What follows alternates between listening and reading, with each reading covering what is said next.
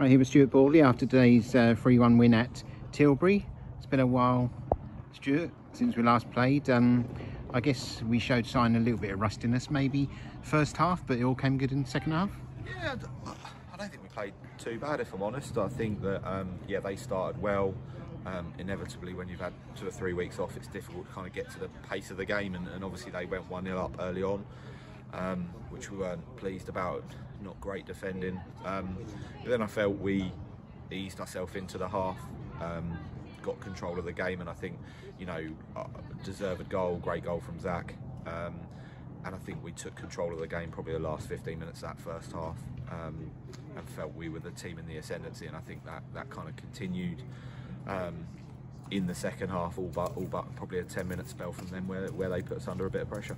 I guess it's difficult in a way coming into a game like that we never know. Obviously, uh, we say every week how there's no easy games in this league, but up against a team with a new manager, I think four or five new players this week, a bit of the unknown, and they did come out fairly fast, didn't they? Yeah, totally. You know, there's there's no bad sides in this league. They're all difficult games, and you know, you come here, it's a it's a challenging pitch, um, and you know that they've got a bit of renewed energy and things for you know for their new manager and want to impress and all those types of things. So yeah, it's it was a tough tough game today, but really pleased with how we battled, weathered storms, and came through it and showed our quality in the end. Okay. Um, there's a bing coming, bear with me. Yep. Um, obviously, uh, some of the goals today were pretty special. Um, say Zach Brown's a bit of a confidence player, really, and that goal would have done him the world of good yeah, so pleased for him and Clarkey, who, who I thought were a real threat today. You know, they played up there, played well with each other, and, and, and really caused them a lot of problems.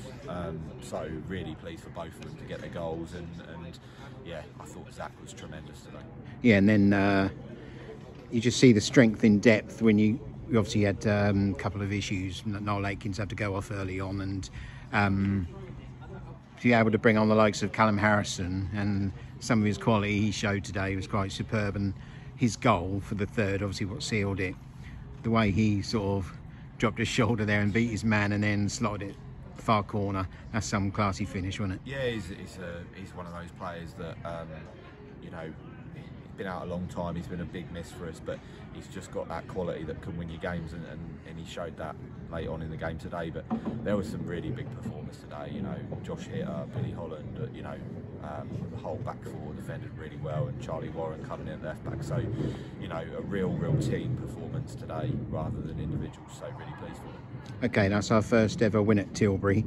Although we've played them ten times in our history now, and we're unbeaten, so you must be delighted.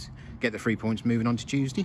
Yeah, you know, games are coming thick and fast now, and that's what we want because, you know, as much as training's great, it, it's not great. We want to be playing games, and we're really looking forward to the run of games we've got, um, where, where we, we hope we can go on a run. Um, seem to be a few knocks and um, maybe a bit of cramp in places today. Uh, I guess that's due to the well, not just the weather, perhaps the pitch a bit, but also the fact we haven't played. Are you a bit um, concerned for Tuesday on that front? No, no, not at all. I think you know it's it's inevitable when you haven't played a lot of game time, and um, yeah, few few with cramp at the end there, but they battled through and, and, and they'll prepare right and be okay for, for Tuesday and, and, you know we've got people coming back into the squad so you know I'm really looking forward to it and hopefully have a good running. Excellent. Thank you very much.